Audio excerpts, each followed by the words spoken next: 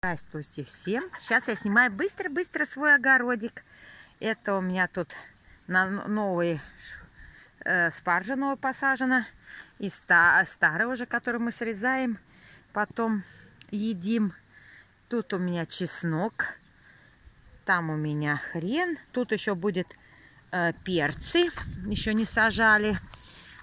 Тут у меня парничок. Там у меня только еще один салатик и лучок. Будет посредине огурцы, а там не знаю, что, посмотрю еще чего. Тут у меня фасоль зерновая низкая. Тут у меня чеснок, лук, петрушка.